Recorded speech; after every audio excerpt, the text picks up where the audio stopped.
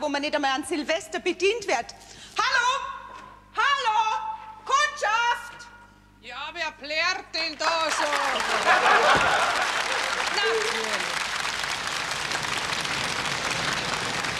so ein Rohr kann nur die Birnstinglerische haben. Du, gell, pass ja auf, dass du mit dem alten Johann auf deine freche Backen kriegst.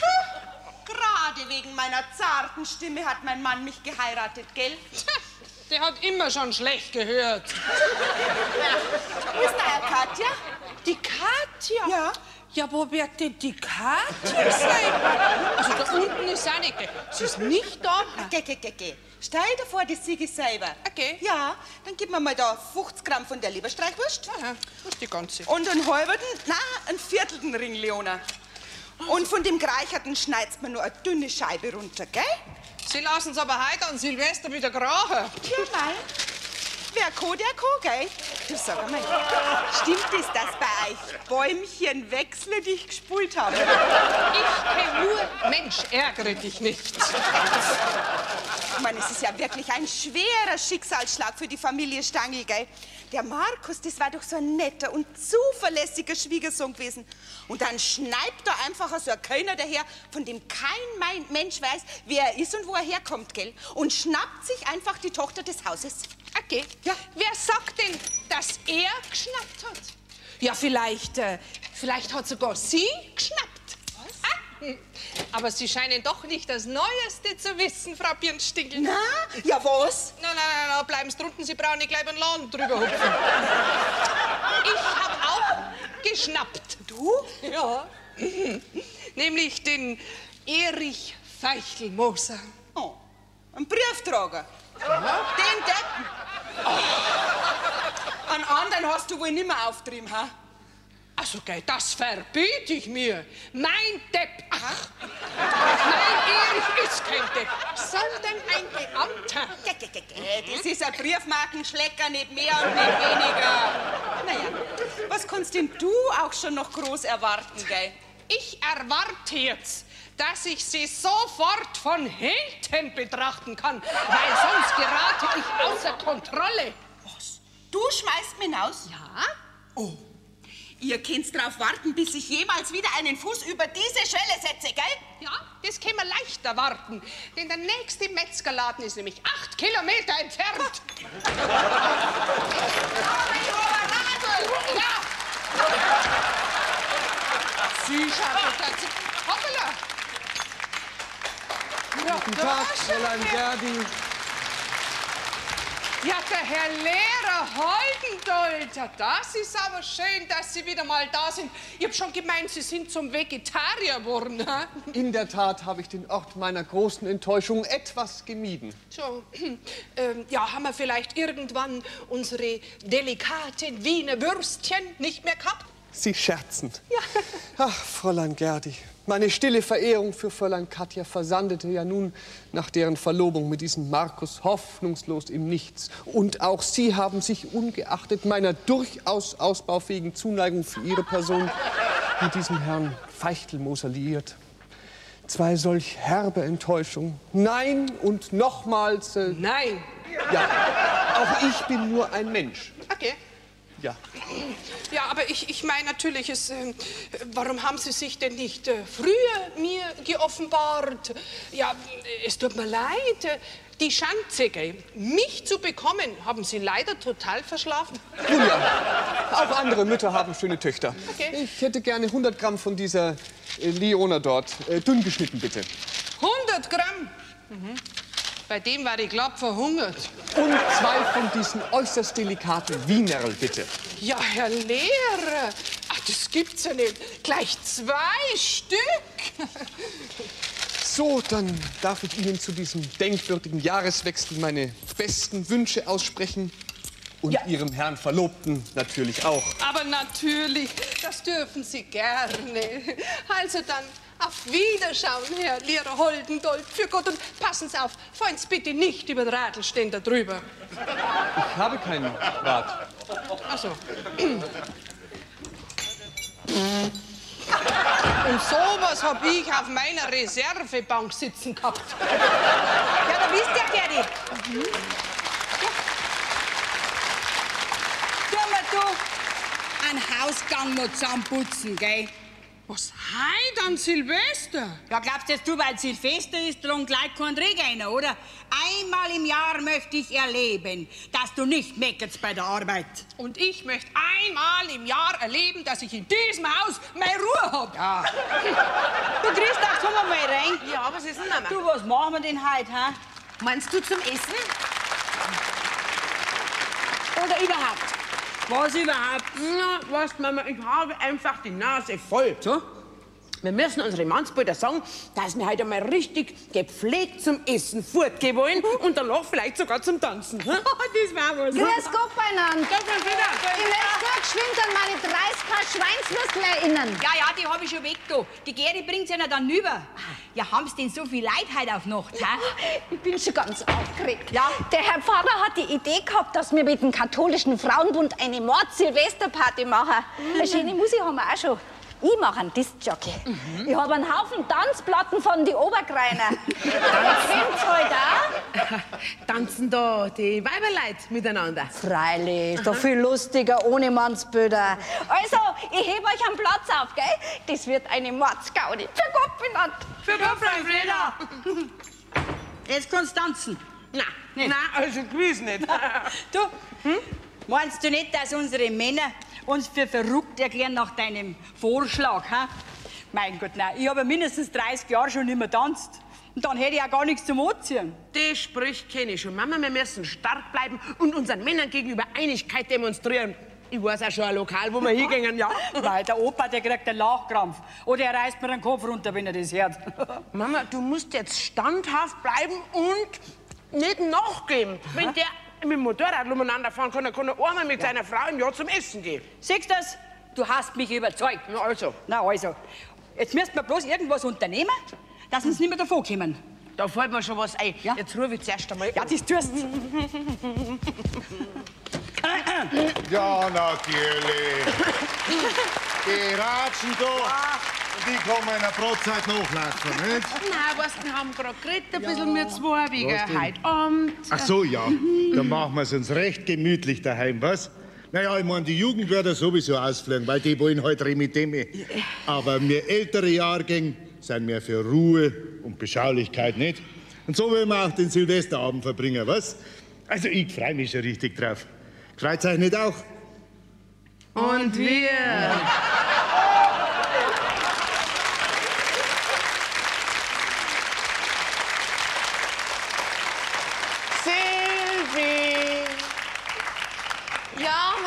Toni, komm ja schon. Ach, glaubst, so gern habe ich noch nie aufgeräumt, als wir jetzt, wo ich mir meinen Wegproviant bei dir holen kann. Ich habe nur die Befürchtung, dass wir heute nicht mehr fertig werden. Ja, ja, ich gehe schon. Ach, aber zuerst muss ich mich von dir verabschieden. Komm aber bald wieder. Ach, hoffentlich kommt kein Gast, weil sonst müsste die doch nur Tabletten nehmen. Grüß dich Gott, Toni. Grüß dich Gott, mein Schatz. Lang warst du nicht mehr da.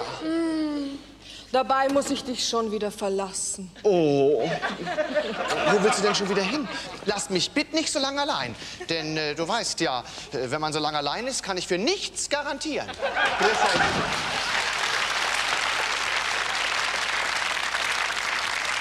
Sagt mal, habt ihr die Katja gesehen? Na, die hat doch halt frei, oder? Ich trau nur durch, ich kann's einfach nicht finden. Ich trau auf der Stein und durch. Okay, Markus, jetzt reg dich nicht auf, die kommt schon wieder. Hat die vielleicht gekündigt? Ach, jetzt red doch keinen Schmarrn. Markus, Was denn? sei ein Mann. Ich kein Mann. Ich bin verliebt. Hoffentlich findet die in dem Jahr noch. Siehst du's, Toni? Das ist wahre Liebe. Du hast mich fein noch nie gesucht. Aber Liebling, nachlaufen würde ich dir bis ans Ende der Welt. Hey, hey, hey, mein Gott, na.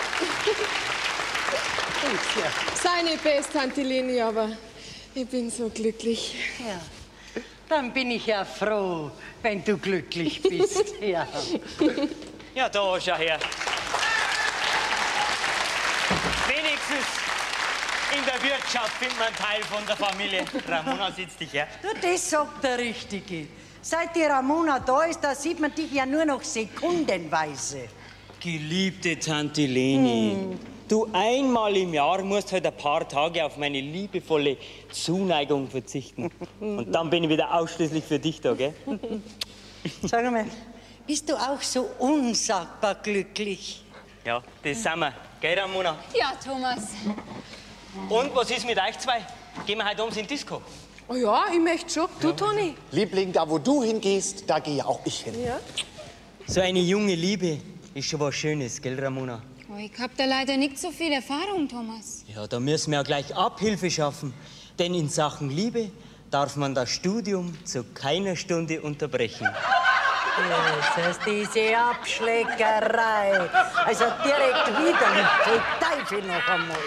Leni. Das war schon nett, wenn man mich einmal auch unterrichten darf, was heute Abend abläuft. Was ist denn los, hä? Ja, für die leider nichts, weil so kleine Buben wie du, die müssen leider ins Bett. Du geh zu selbst Stefan, du bleibst schon daheim, gell? Wirst sehen, es wäre ganz lustig. Ich hab eingekauft. An Kracher. Meinst du einen einzigen Kracher? Ja. Toll, ehrlich. Und du darfst ihn auch ganz allein anzünden. Nein, mich jetzt so drauf. Da lacht's nur überall, jetzt Weib habt schon recht. Der hat's mir doch gern. Stopp beieinander, grüß euch. Grüß Wie schaut's aus? Kriegen wir noch ein Bier oder ist schon zu? Ja, logisch gibt's noch ein Bier. Na, ist recht. Du Mattel, dein Sohn Markus, der rennt wie ein Blöder durchs Dorf und sucht seine Katja. Das wundert sich auch noch ab. Ich sag's euch, geschlurft hab ich heute. Was sagst du? Geschleift, also geschleppt hab ich, dass ich bald zusammenbrochen werde. Ach so. Mei, du tust uns direkt leid, du armer Postler. So, jetzt gibt's erstmal ein schönes Bier. Merci, Einmal, zweimal. Hier, Postler, was ist denn los? Heute Abend gehen wir in die Disco. Hast du Lust? Gehst du mit? Logisch geh ich mit, da wird ja gar nicht geredet. Ehrlich, ich weiß nicht, ob da deine Gerdi damit einverstanden ist. Hm? Ja, da musst du durch. Was sagen Sie, Fräulein? Erna, Erna, tu mir den Gefallen und verschwende nicht deine ganze Luft. Ich mag nicht. Alter, deswegen brauchst du jetzt nicht aufführen wie das Rumpelstilzchen persönlich, gell? Einmal im Jahr wird das gemacht, was ich sag. Und ich sag, wir bleiben daheim. Haha, Tanzen. Du hast mir einen Lämmergang hier, oder? Alter, ich warne dich. Ich geb nicht noch. Ich geb dir drei Stunden Zeit. Bis dahin hast du gebadet. Baden? Im alten Jahr noch? Du darfst ja rasieren. Und deinen schönen Anzug habe ich da auch schon rausgelegt. Das wirst du ja wohl noch alles bewältigen, oder? Bewältigen würden, täte ich es schon können, aber mögen tue ich wahrscheinlich nicht wollen. Hör auf mit deiner Grinserei. Mein Lieber, dir wird der Grinsen schon noch vergehen. Ja. Im neuen Jahr wird sich so manches ändern. Und da fangen wir heute gleich an damit, gell? Oh, das ist eine furchtbare Drohung. Mein Lieber, da kriege ich gleich Angst, dass ich furchtbar zittern muss. Oh, oh, oh. Ein Aufstand, das Sie probieren, ha? Erich, ich sag dir eines. Verlier nie die Kontrolle, damit du immer weißt, was du erlauben darfst und was nicht. Keine Angst, habe ich alles im Griff. Und heute Abend wird ein Exempel gestartet. Ich gehe fort und wenn's in drei kupft. Ja, bin ich froh, dass ich solche Machtkämpfe hinter mir habe. Ja, ja. das klären wir dann schon noch. Da brauchen wir überhaupt nichts klären. Das ist bereits beschlossen. Habe, habe. Da wird gegen uns zwei ein Kompott geschmiedet. Oh, werden wir zwar mit denen nicht mehr fertig, ha? Das kann leicht sein, Opa. Mein lieber Gatte, in einer Stunde bist du im Bad und das ist mein letztes Wort, gell? Mein letztes Wort. Würde ich meine. Würde ich meine. da müssen wir uns was einfallen lassen. Ja, aber was? Warum müsst ihr euch was einfallen lassen? Ja, eine Ausrede brauchen wir, weil unsere Weiber unbedingt mit uns zum Tanzen gehen wollen. Ach so, ja, bricht doch halt einen Hexen zu. So entschlossen wie die Christa ist, schleppt mich die auch mit dem Gipsfuß zum Tanzen. Ja. Äh, irgendeine ansteckende, äh, sehr gefährliche Krankheit müsste das halt sein, die, die unvermittelt ausbricht. Ja, was denn? Ein Mumps zum Beispiel. Mund? Ja. Du Depp, du. Vater, ich hab's. Was? Weißt du was? Ich krieg ganz einfach Zahnweh. Zahnweh, das ja, ist es, ja. das weiß ich schon lang, dass da hinten bei mir eine Klumpen hat. Ja, macht dein Brot wieder zu. Ja. Da bist du ja, mein Mausi-Schwanzeli. Du, ich habe für heute Abend eine Riesenüberraschung, ja. Ich habe nämlich zwei Freikarten gekriegt für die Oper. Der Riegel Otto. Wie ist das? Rigoletto heißt das. Ja, so kann man's auch sagen. Na, was ist? Freust dich nicht, ha? Ja, und wer? Aber ich muss dich leider enttäuschen. Ich, ich habe auf einmal furchtbare Zahnschmerzen. Was? Jetzt nimmt der Depp unser Ausreden.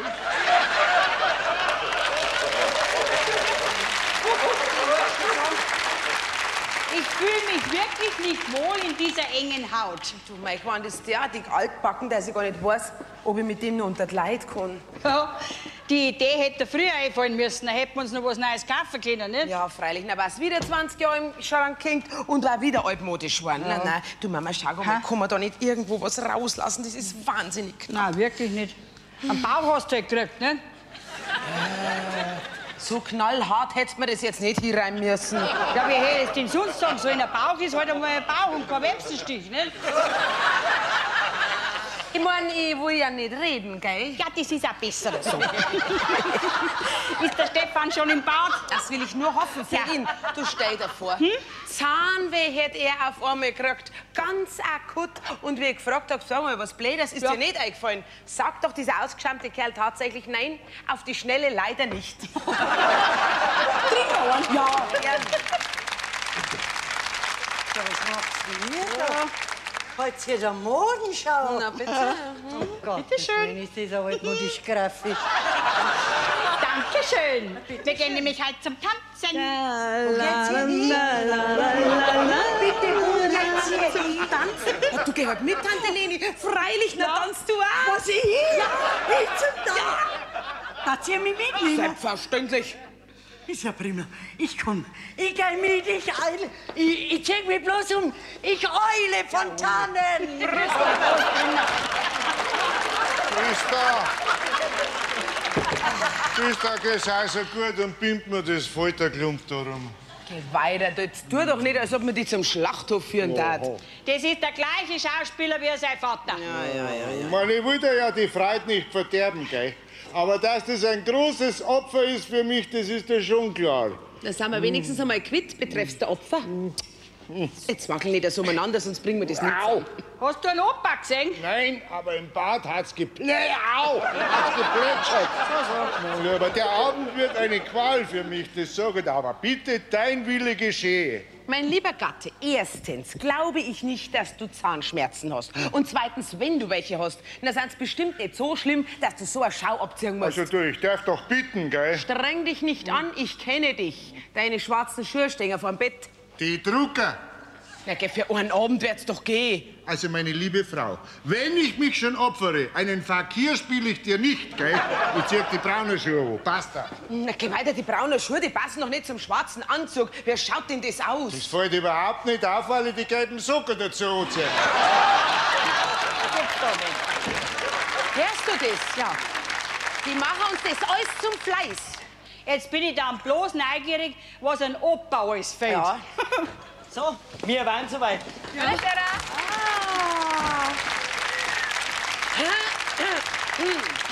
Mama, lieb schaust du aus. Also das Kleidel war vor 30 Jahren modern, aber zu dir passt's. Also ich finde, Sie sieht toll darin aus. Vielen Dank. So, und jetzt schleicht euch und macht euch einen gemütlichen Abend, gell? Ja, du, du Mama, aber eins sag ich dir, tu mir nicht so wild tanzen, gell? Nein, nein. Was Ihr seid fertig. Der Joe, unser Fahrer, steht schon draußen.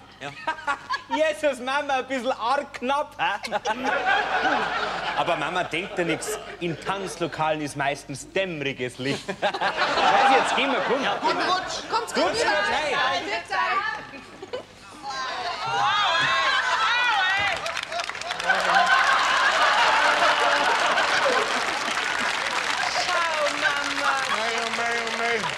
Ich hab Zahnweh, Zahnweh hab ich nicht zum Aushalten. Ja.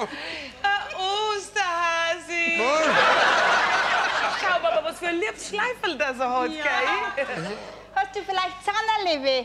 Mein Ja. lieber Mann. Gell, das sieht man gleich, ja. Und es ist ein bo bo bo bohrender Schmerz. Mein Gott, das ist aber saudumme Ausrede, das sag. Da ist dir doch nichts anderes eingefallen, ha? Nein.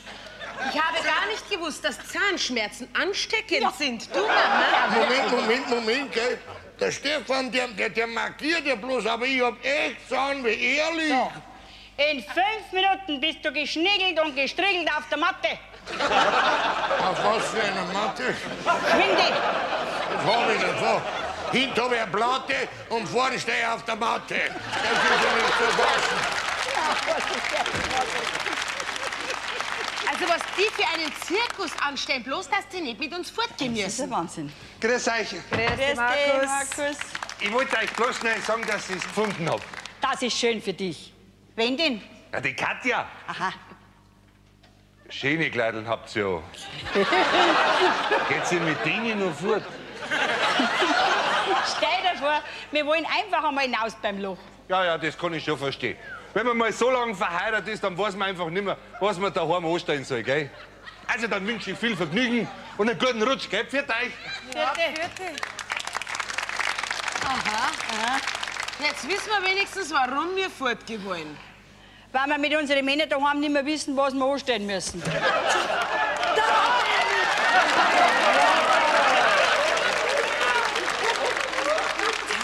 Tante Leni, hast du die Lippen angeschmiert? ha? Das ist ein Make-up. Ach so, ja.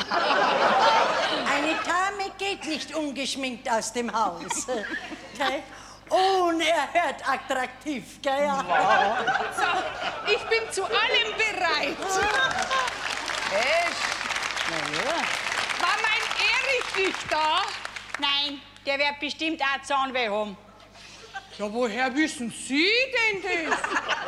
Aber ich habe ihm drei Kohletabletten reingeschmissen. Und jetzt feiert ihm garantiert nichts mehr. Ja, dann, dann warten wir halt ein bisschen. Ne? Sehr richtig. Warten wir eben. Aber nicht mehr lang. Meine Geduld ist zu Ende. So, jetzt sitzen wir da wie die Kanarier auf dem Stangl. Ja. Nur schauen die nicht so belämmert drei und wir vier. Du Mama, es tut mir furchtbar leid, aber dem Opa geht's vielleicht gar nicht gut. So, aber jetzt ganz mal. Der Spaß geht mir zu weit. Und zwar entschieden zu weit. Ja, was glaubt's denn ihr, wenn ihr vor euch habt?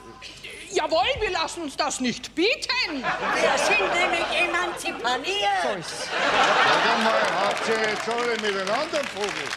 Also dieses Kasperltheater, das machen wir nicht mit. Setzen! Das Gott beieinander. Ja, ich wollte fragen, ob du schon fertig bist. Freilich bin ich fertig.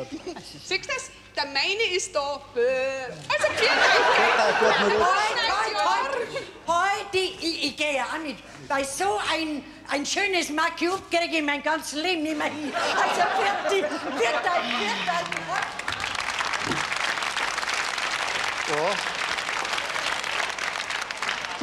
Weibe, es wird immer schlimmer wie bei der Frau Wimmer. In einer Viertelstunde brechen wir auf. In einer Viertelstunde breche ich zusammen. Mama, schau dir doch einmal den Backen vom Opa an. Der hat ja tatsächlich einen Bock als wie ein Hamster. Ha? Glaubst, einmal im Jahr will ich hinaus. Du machst mir doch wirklich alles mit Fleiß. Doch, Weibe, schimpf mir halt jetzt nicht. Mir tut's ja leid, aber ich muss zum Zahnarzt. Und? Was machen wir jetzt? Ja, allein lassen können wir den Opa auf keinen Fall. Und Furke kann er schon erst recht nicht in diesem Zustand. Und mein lieber Gatte, was ist mit deinem Zustand? Was für- Ach so, ja, komisch. Die Schmerzen sind tatsächlich wieder verschwunden. Bin ich aber wirklich sehr erleichtert. Ich auch, ich auch. Mama? Ja. Kommst mit? Ja. Jetzt hängen wir uns wieder aus. Ich bin für richtig froh, wenn ich den engen Fetzen runterbringe. Aber wir zwei, wir rechnen noch ab. Merkt ihr das?